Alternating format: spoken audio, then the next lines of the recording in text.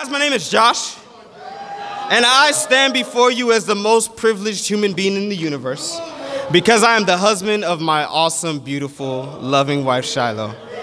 And guys, I'm grateful to just be able to preach the word of God to you guys this morning.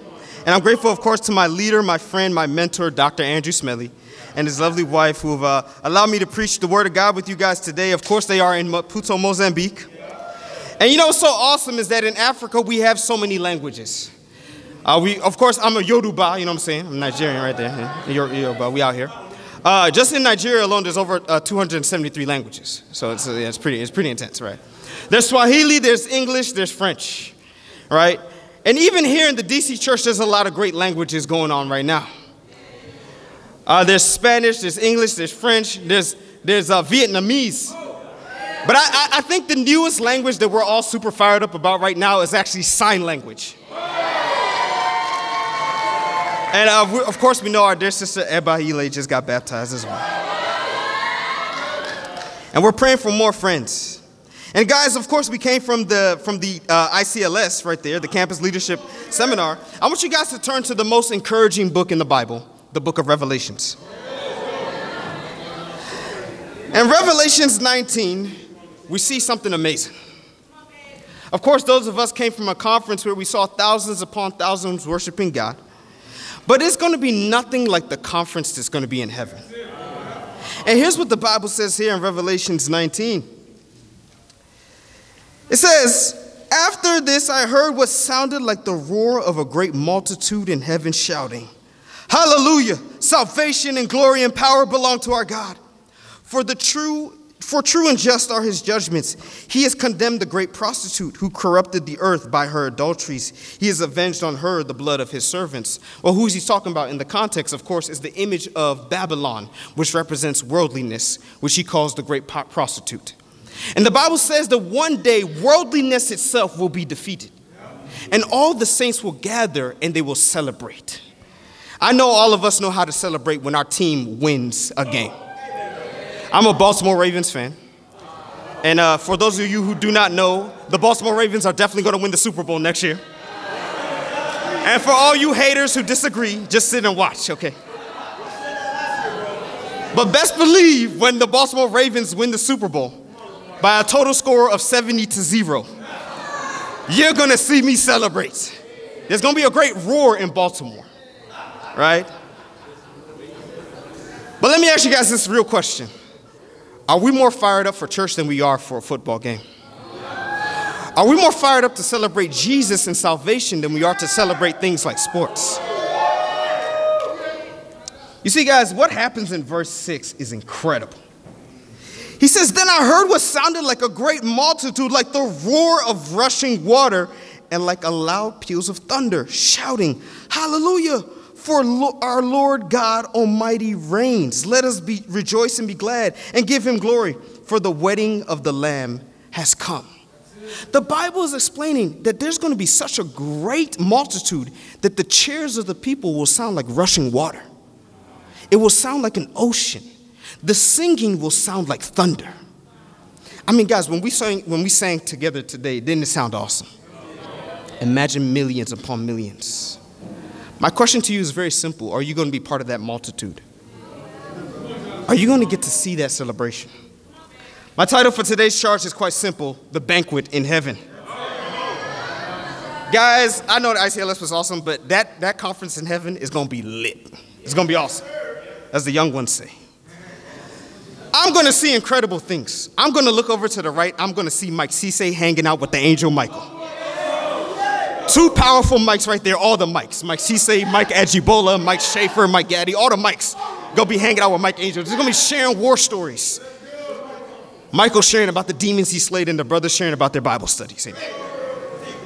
I'm gonna look over to the left, I'm gonna see the wise brothers, wise brothers like Safiso, like Olivier, like Kenny Doze, like Ben, like Jose Otero. I'm just going to see the wise brothers in deep conversation with the ancients and the sages, strumming their beards as they discuss great things. I'm going to see the sisters absolutely fired up. And, and, and, sisters, can you guys just imagine having some great sister times there? with the heroines of the Bible. Where are you going, sis? I have sister time with Queen Esther right now. I'm going, I'm, I'm going on, a, on, a, on a sister date right now with Hannah and Deborah.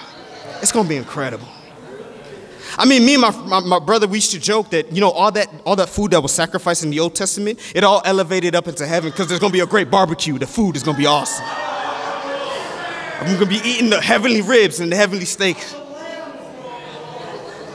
But of course, most beautiful, for some reason, there's just going to be one spirit that just is a gorgeous, shining spirit with heavenly fashion. I know that there's no marriage in heaven. But I think that my eyes are just going to be magnetized in that direction. Like, God, that, Jesus, who is that spirit right there? Why, Joshua, that was Shiloh. I knew it. I knew it. She's so beautiful. It's going to be incredible. But my question to you guys are you going to be there? You see, you're not going to be invited to the party if you don't take the party host seriously. Let's go to Luke 14. He's, he talks about, in Revelations, we hear about the wedding of this lamb, right? Of course, we know the lamb, of course, is Jesus Christ, and he wants to invite us out. But th- look at how Jesus prepares his party here in Luke 14, verse 15 to 24. I think we don't think enough about heaven. We need to have some FOMO for heaven. It's the fear of missing out. Because it's going to be lit in the other party, but in the wrong way. In Luke 14, verse 15 to 24, it says, when one of those at the table with him heard this, he said to Jesus, Blessed is the one who will eat at the feast in the kingdom of God. Jesus replied with a parable A certain man was preparing a great banquet and invited many guests. At the time of the banquet, he sent his servant to tell those who had been invited, Come, for everything is now ready. But they all alike began to make excuses. The first said, I have just brought a, bought a field and I must go and see it. Please excuse me. Another said, I just bought five yoke of oxen, and I'm on my way to try them out. Please excuse me. Still another, I just got married, so I can't come. Here you have this incredible party. He invites many people, and what do they start doing? They start making excuses. But let's be honest, their excuses don't really sound that bad. I was like, wait a second, hold on. This guy just bought a field. He's just trying to be a responsible man. He should go and take care of his field. This guy just got some oxen. I don't know who here has ever had any oxen. Anybody that's ever had oxen in the crowd? Uh, oxtail, no. It, my Jamaican brothers and sisters, oxtail is not what I'm talking about. We're talking about oxen, right? Okay. All right. A sheep, goat, all that type of stuff. Amen, amen. But if I got a bunch of oxen and sheep and goat, I got to go and take care of it, right? And then if I, you know, when I when I got married to Shiloh, I was like, hey, yo, look, yo, yo, I, I got I got to go be with my wife. You know what I'm saying? These sound like very intelligent excuses so, why does Jesus rebuke them? Well, these excuses are very specific. Jesus was so masterful in the way he formed his parables, and everything was very intentional. What is he referring to with these three, three examples? He's actually referring to the three first things that man were given to take care of back in the book of Genesis. What is man given? A field to take care of, the Garden of Eden. He then is given dominion over all the creatures, which represent the oxen in this parable. And what's the last gift given to him? Eve which represents marriage. These were actually gifts from God. But what was the problem? These gifts now became a distraction. These gifts became an idol. The very things that God had given man to help his life had now become the purpose of his life. They were focused on the provision and they forgot about the provider. Do we do that in our lives today? Do we, do, can God really trust us with blessings? Guys, I know all of us out here, we're some prayer warriors when it comes to our blessings. God, please bless me with this. But my question is if God were to bless you with that, does He know that you're also going to turn away from Him because of that? Can God trust you with the blessings? Can you keep your focus on Him? Because right here we see that they clearly lost their invitation to the party because of excuses which sound like daily life. Of course, are these things sin? No, but they're idols. And you know, guys, um, for, for those who are, are our friends joining us, is have you really took some time to discover what are the idols in your life that are making you uh, uh, lose your attention of God? And for those who have been baptized, sold out disciples that repented and baptized, with the Holy Spirit inside of you, you got to ask yourself this question Do you find yourself cheating on God with ex idols? Sneaking off for a little bit of time with pleasure? Neglecting your quiet times to have some time with, you know, social media and stuff like that in the morning. Playing, uh, playing games and stuff like that, not really cherishing your times with God. Devoting all your time, your effort, and your planning to your career and the greed for love of money. Do you have a little midnight rendezvous with sin? A little bit of pornography and masturbation? A little bit of impure relationships? Are we beginning to cheat on God with ex idols? I like this picture. This picture scared me. It should scare you too. I want to show you this. This is a picture of what I think can be going on inside our hearts right now. You notice the human heart is in the center of the table, and the different demonic idols are around the table with their little planners and their little money or whatever, planning on who's going to control the heart next. Who's going to call the shots for this person? You look at the next picture, a little bit more friendly. That's almost the same exact idea. Negotiations between different false idols, a tug of war going on inside the heart. But where's God in the picture? Maybe 9 a.m., greed takes charge, and, and by noon, selfish ambition takes over. 5 p.m., anger takes charge. 11 p.m., uh, leisure clocks out and pleasure clocks in. But my question is, uh, my point number one is a very simple question. Point number one Do you fellowship with the God of the Bible or do you wine and dine with idols? Do you fellowship with the God of the Bible or do you wine and dine with idols? And the question really is Jesus your daily Lord? So I want to teach you guys something about Hebrew writing. Everywhere in the Bible where it mentions Jesus Christ, it says Lord and Messiah, right? In Hebrew writing, they always made sure to put the most important thing first because the first thing was always the key that led even to the secondary things. So every time you read your Bible and you see this and this, just know the Hebrew writers are actually teaching you the first thing I mentioned is the most important thing. In the Bible, whenever you talk about Jesus, he says Lord and Messiah. What does that mean? The Lord part is the most important. Because he cannot be your Messiah until he is your Lord. Everybody wants a Messiah, everybody wants the Savior. I don't think a lot of us like the Lord. I know so because some of y'all, you know, when, when, it comes to your bosses at work and, you know, when it comes to your teachers and it comes to some people of authority, you know, we don't always like those who have any type of lordship over us, right? But do we trust Jesus with the lordship of our life? Jesus is awesome. Look here in verse 25, right? We're still in Luke 14. We're still in Luke 14. Verse 25, Jesus is so cool. So he's like, hey guys, I want everybody to come out to this party. I want many people to come. And then what happens? A lot of people show up. In verse 25, large crowds were traveling with Jesus, and turning to them, he said, If anyone comes to me and does not hate father and mother, wife and children, brothers and sisters, yes, even their own life, such a person cannot be my disciple, and whoever does not carry their cross and follow me cannot be my disciple. This is so counterintuitive. Jesus just said, Hey, I want a lot of people to come. And then guess what? A lot of people come. And then immediately he preaches the most controversial, fearful thing ever. He tells the Israelites, You got to love God more than your own family. Now imagine, guys, that you were part of that large crowd and you went to go see Jesus. You and your buddies, you're fired up. This is great. We're going to go see Jesus Christ. He's the talk of the town. We want to see what's going on. You get there, and immediately you see this man up there preaching hate your mama, your daddy, your cousin, your uncle, everybody. You see lightning striking in the background, all that type of stuff. How would you feel? But, but why? Why would Jesus start after inviting everybody, why would he give such a strong charge to the people? Because he understood that the first thing that's going to distract you from getting to him is idolatry. And even good things, like the oxen, like the field, like the marriage, and now he takes it further, like family, can be an idol if you're not careful. The word hate in the Greek is miseo. It means, by extension, to love less, but I also think it means to hate your sin. We got to hate sin in ourselves and in others. You cannot be a great cup, uh, you cannot be a great policeman if you love crime. You cannot be a great Christian if you love sin. And you cannot hate what you're not disgusted by. I bring this up, guys, while also telling myself. Guys, you're, you're, you're looking at a man who doesn't deserve to preach to you. Growing up, guys, I was a porn addict.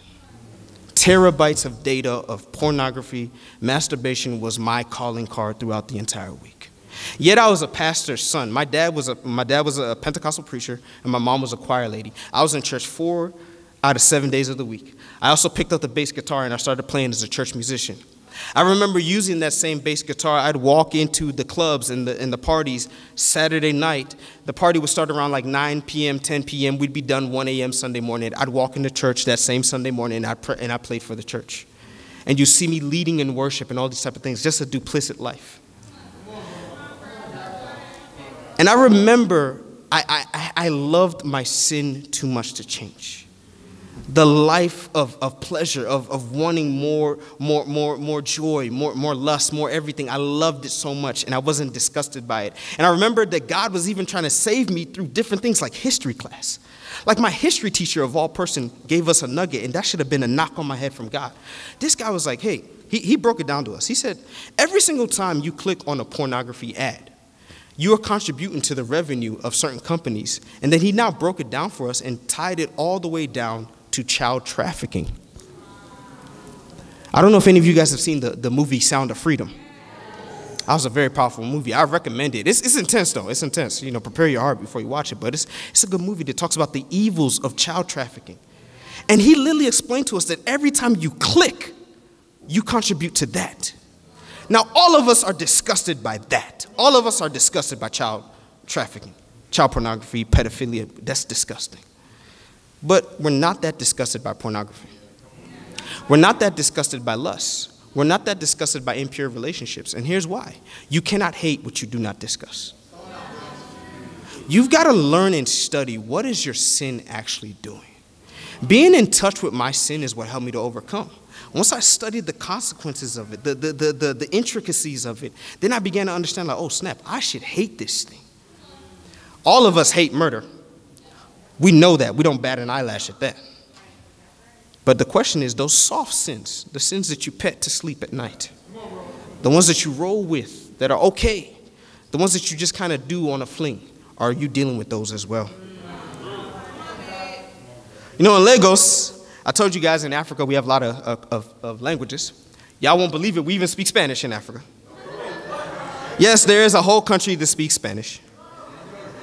And it was actually in Lagos, Nigeria. Now, no, we don't speak a lot of Spanish in Lagos. Now, that, that doesn't happen. But there is one Spanish phrase that we like to use when I was in Lagos, and I learned this while I was in Lagos. It's called La Vida Loca. it means to live the crazy life. And La Vida Loca is a phrase we use in Nigeria to explain those who are lavish and having all the fun and all the blast of everything that's going on in life. But unfortunately, that is also seeped into Christian culture where it's like we want both God and we want La Vida Loca.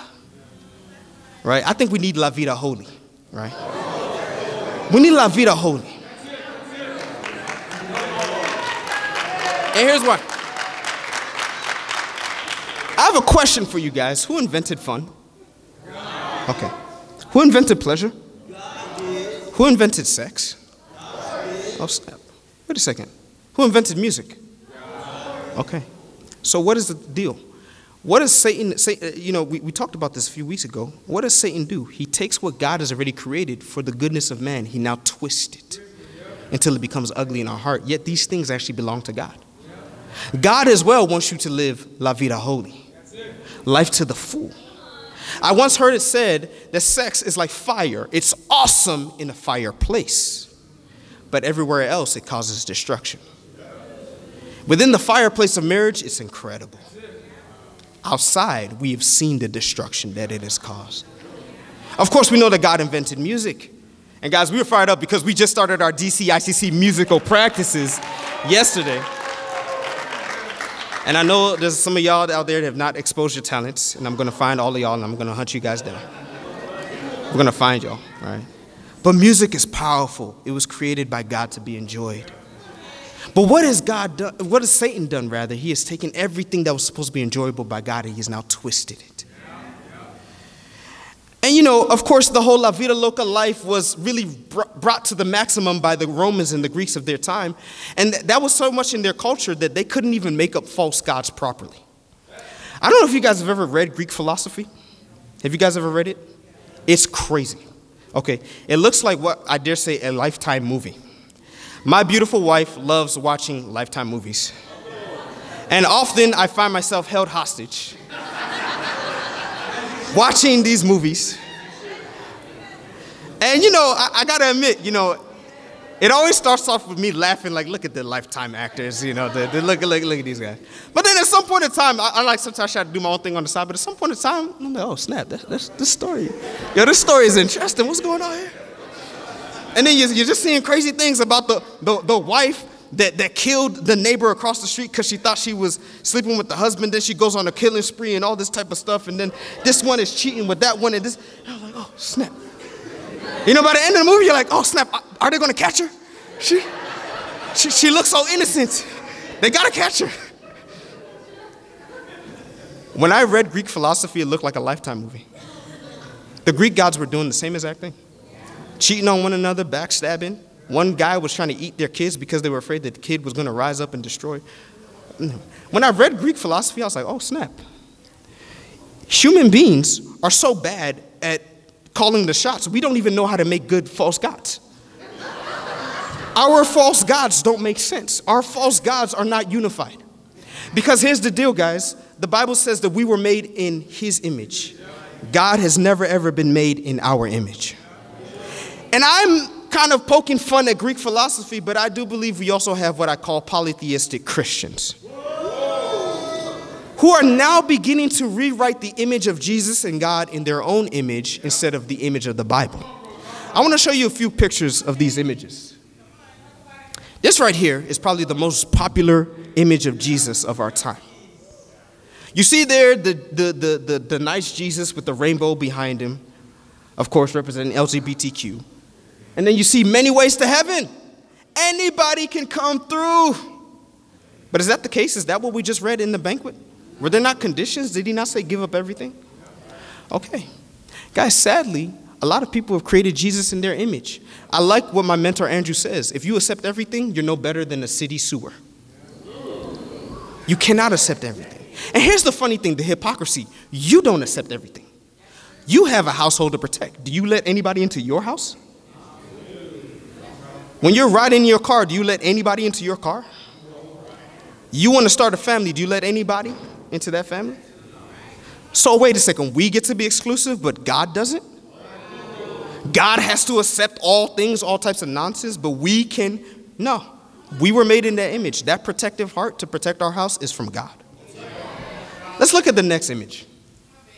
This here is the dictator Jesus. Why do I share this Jesus? Because it's been awesome. Guys, you should share your faith more often, right? I'm at Howard University, and you know what, guys? I'll be honest a lot of people look at Jesus this way.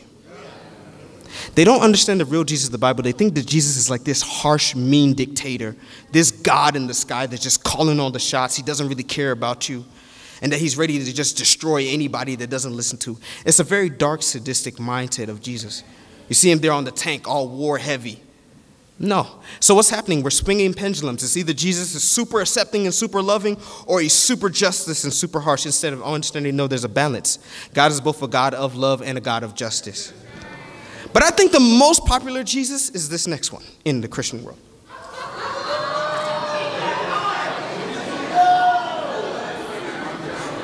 This right here, this is the Jesus that most Christians are really trying to be like. Somebody said the Jordans, I would call them the Air Jerusalem 33s. You see him there with his chain and his Lamborghini, trying to be fresh to death. And unfortunately, guys, this is how a lot of Christians live their life. How do you know?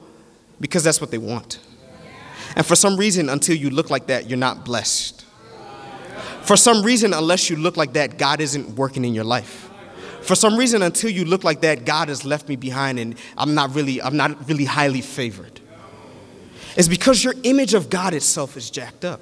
It's because you're basing God's image on yourself. You're not basing God's image on His Word. What's the real Jesus look like? Guys, let's give it up for the real Jesus.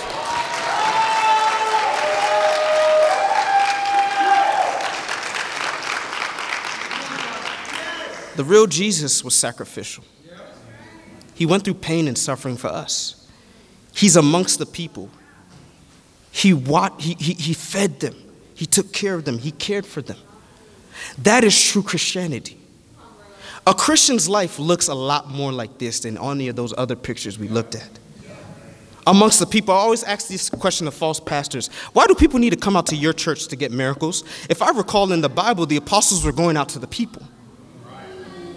Why do they need to come to a pulpit to be saved here by, with the altar call? If I recall, the disciples were going out into the streets and taking care of the people to preach to them. If I recall, Jesus fed the 5,000. You cannot be a Christian if you don't care about people. You cannot be a Christian if you're not willing to sacrifice and suffer a little bit. At what point did we not, what point did we get entitled to a life without pain? At what point did we get entitled to a life without suffering? You see, guys, there is a war against the identity of Jesus and God's character. My question is, what side of the war are you on? Can I, can I do a little teaching real quick? Verse 31, we're still in Luke 14. Verse 31. Or suppose a king is about to go to war against another king. When he first sit down and consider whether he is able with 10,000 men to oppose the one coming against him with 20,000.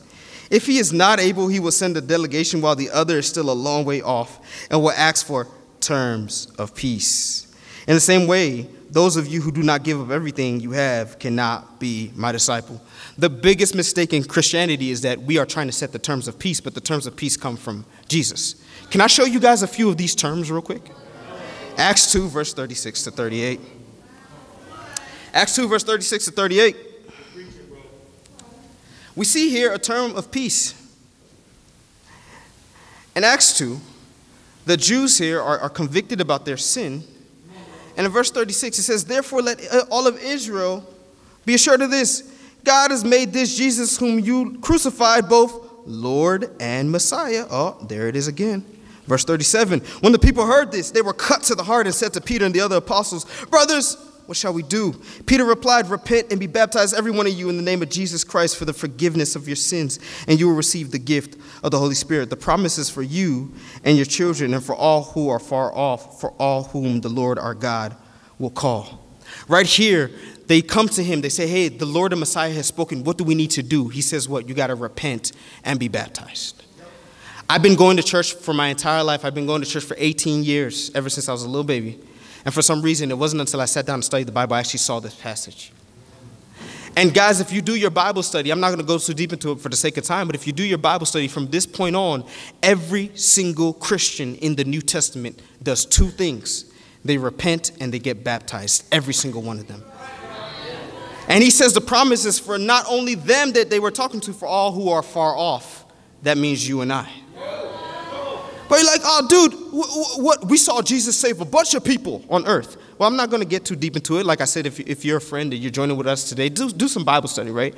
I'm just going to breeze through this, right? In, in, in Matthew 9, it says that Jesus has the authority on earth to forgive sins.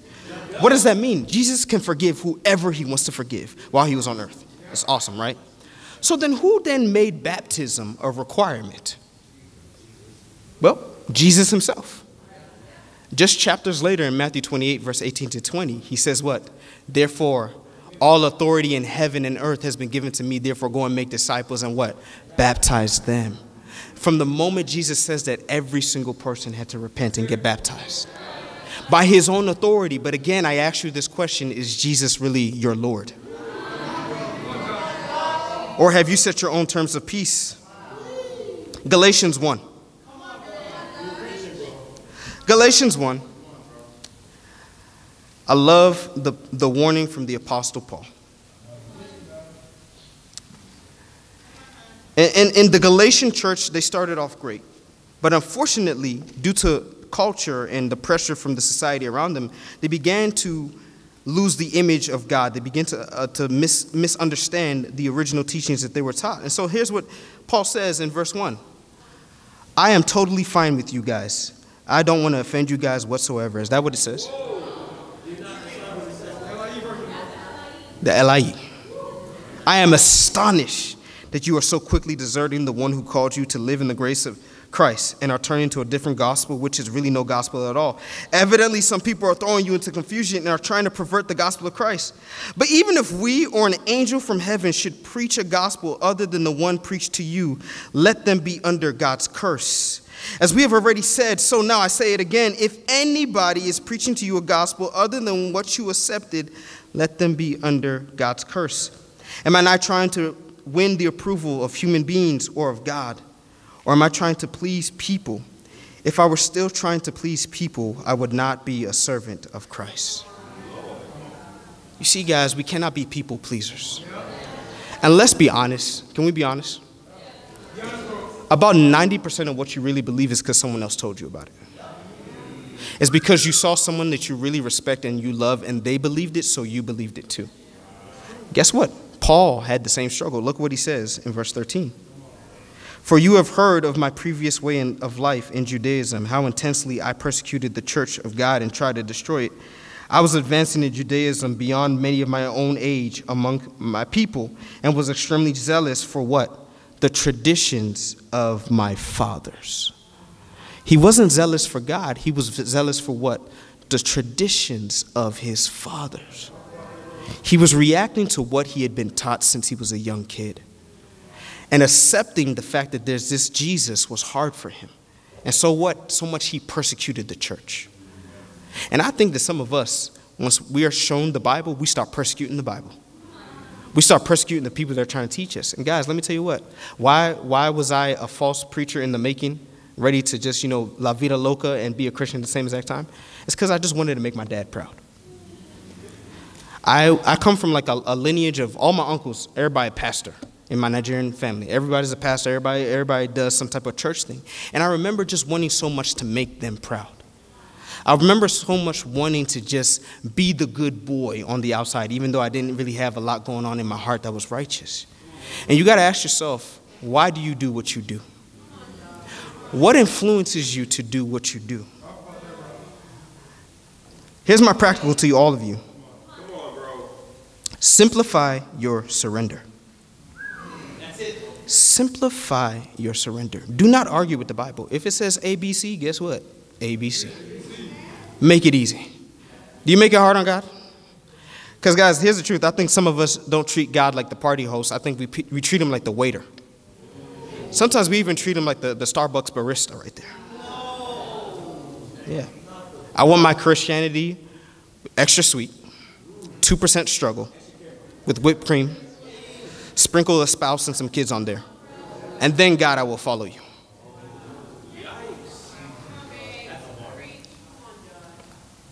My first point, of course, was do you fellowship with God or do you wine and dine with the idols? My second point is very simple. Do you connect with the Savior of your soul or do you sit alone in the spiritual hole? Do you really connect? Guys, let's be honest, sometimes it's hard to connect. Guys, I'm naturally an introvert, so my wife can attest to this. There are different types of people around a banquet table. You know, like that one person that's kind of like awkward at the table? Like he's not really talking that much, he's just kind of focused on his food right there? Or focused on the event? Okay, I am that guy at the table, okay? I confess this to you.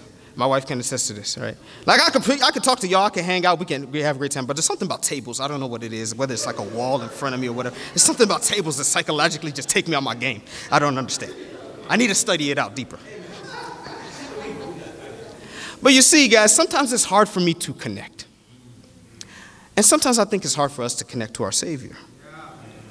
But you see, we got to connect to Jesus Christ. He's got to remain our daily Messiah.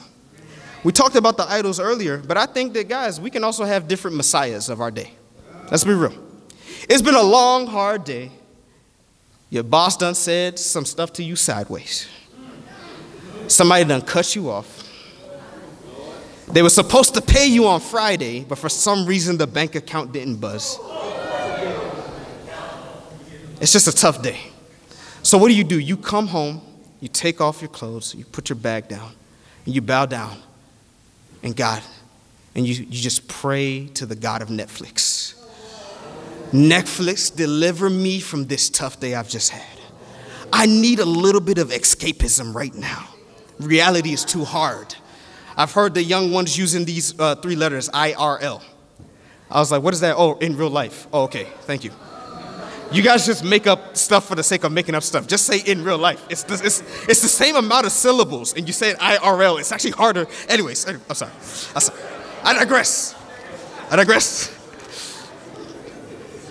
But in real life is hard. I need a little bit of Netflix. Maybe it's not Netflix. Maybe you bow down to the good old social media. The good old death scroll of, of, of shorts. You know what I'm talking about. All of a sudden, YouTube short becomes YouTube long. You spent a good three hours watching a bunch of 30 second videos. Or, or, or, or maybe, maybe it's one of those days and you just open the fridge and you're like, Praise be the ice cream. Praise be this ice cream that delivers me now from my depression. Maybe it's a romantic relationship. What is your daily Messiah? What do you really connect with? Who's really saving your soul? I love Paul. Paul is like one of the realest that's ever been. In Romans 7, Paul breaks down and he looks just like us when he says this. So why we read the Bible, guys, they actually relate to us. They weren't superhumans. In Romans 7, verse 15, it says, I do not understand what I do. For what I want to do, I do not do. But what I hate to do, I do. And if I do what I do not want to do, I agree that the law is good. As it is, it is no longer I myself who do it, but it is sin living in me. For I know the good itself does not dwell in me, that is my sinful nature. For I have a desire to do what is good, but I cannot carry it out. For I do not do the good I want to do, but the evil I do not want to do, this I keep on doing. Now, if I do what I do not want to do, it is no longer I who do it, but it is sin living in me that does it. Paul sounds a lot like us, conflicted. He must have said, I do and do not do like a thousand times. It's even just confusing to read it. Thank you, guys. But you see here, there's a confliction going on in the heart. And so, what does Paul say in verse 21? So I find this law at work. Although I want to do good, evil is right there with me.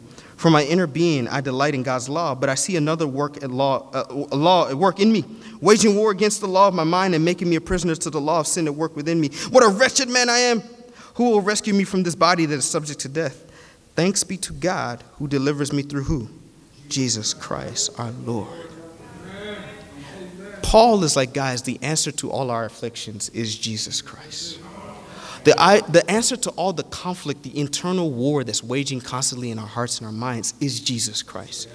But you see, you came to church. So in your mind, you're like, I already knew that. But do you live that? Do you really make Jesus the daily Messiah that you connect with? How are your quiet times in the morning? You know, guys, when you have a great time with God, you're like ready to conquer the world. When you know you connect, you're ready to go. I know I connect when either my, my prayers are getting to like near my, my eyes are about to cry, or when I read the Bible and I'm convicted to change, now I'm ready to take on the world. But if you have like a fast food quiet time, like a bootleg quiet time where you don't really spend God with God time with God. You just kind of did it, you know, just so that if somebody asks you, you can say that, hey, I read my Bible and I prayed. My quiet time back when I was in college was to read the Bible Gateway uh, word of, verse of the day that just comes out that one verse and then just pray for like maybe five minutes and then I'm good to go. Yeah, it didn't work, right? We have to connect with God. Why? Because there's a confliction. And I love this quote. My brother, please put up the next quote here. We have heard this story many times, and I love it. An old Cherokee told his grandson, My son, there's a battle between two wolves inside us all. One is evil, it is anger, jealousy, greed, resentment, inferiority, lies, and ego. The other is good, it is joy, peace, love, hope, humility, kindness, empathy, and truth. The boy thought about it and asked, Grandfather, which wolf wins? The old man quietly replied, The one you feed. It is the one that we feed that will win. And you've got to ask yourself this question Have I fed my sinful nature more than the Spirit of God? Do I really have times with God? In Romans 8, Paul brings further the answer to this dilemma. He says in verse 5 Those who live according to the flesh have their mind set on what the flesh desires, but those who live according to the Spirit have their, their mind set on what the Spirit desires. The mind governed by the flesh is death, but the mind governed by the Spirit is life and peace. The mind governed by flesh is hostile to God. It does not submit to God's law, nor can it do so. Those who are in the realm of the flesh cannot please God. You, however, are not in the realm of the flesh, but are in the realm of the Spirit, if indeed the Spirit of God lives in you. And if anyone does not have the Spirit of Christ, they do not belong to Christ. Here he says that our mind has to be governed. Notice it didn't say mind controlled, mind governed. God is not a, a, a dictator God that's just going to zap the synapses of your mind to make you holy. I know a lot of people are waiting for that to happen. That's never going to happen. Your mind must be governed, it must be guided. The actual word there in the Greek, phronema, means to have a mindset towards the soul. It means to make the soul, make spiritual things the compass of everything that you do. Genghis Khan once said, conquering oneself is a greater task than conquering others. If I want to knock out Mike Tyson, I'm not going to ask Mike Tyson, I'm going to ask Buster Douglas because he did it.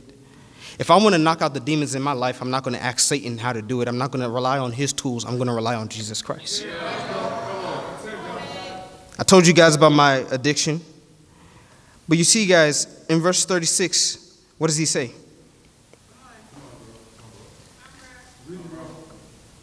We can start in verse 35 of the same Romans 8. He says, Who shall separate us from the love of Christ? Shall trouble or, or hardship or persecution or famine or nakedness or danger or sword, as it is written, For your sake we face death all day long.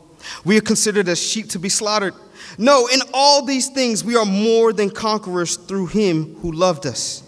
For I am convinced that neither life nor death, nor the demons nor the angel or anything can separate us from the love of Christ.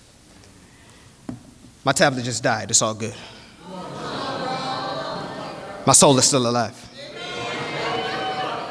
And thankfully, I have this awesome Android to depend on.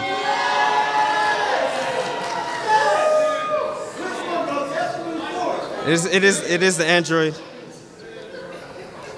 I don't know if the iPhone could have came in the clutch for me right there, but the, the Android just did.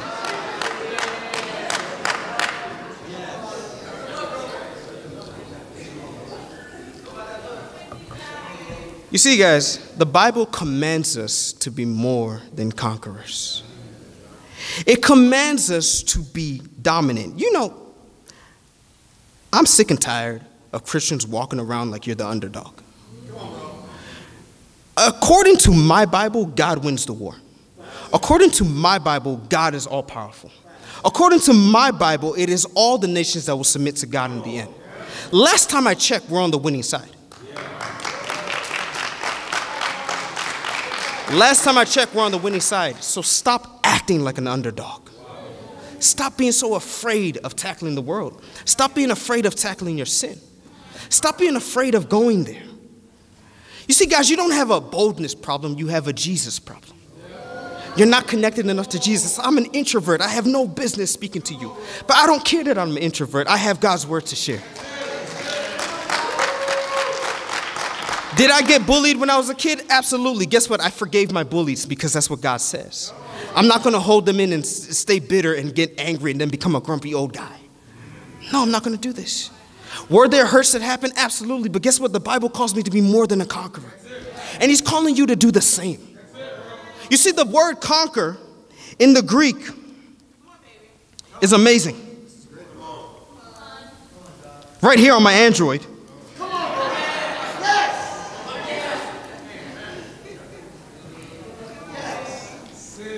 Right here on my Android, it is revealed to me that the word for more than conquerors is hypernikao. It means to be overwhelmingly victorious. Overwhelmingly, it was a rout. You know who loves an underdog story? Satan, because he's the underdog.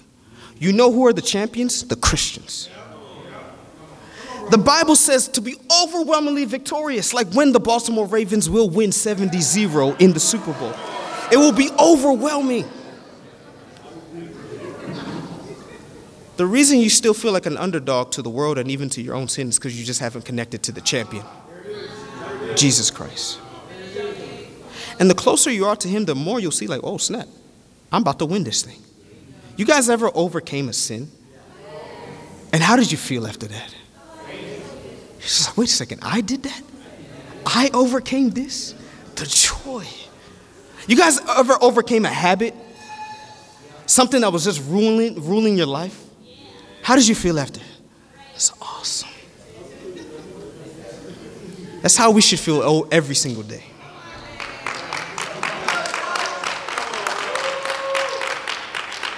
I close here in Revelations. Back to the most encouraging book. In Revelations 2, Jesus sets the example for us in how he disciples us and how we can overcome.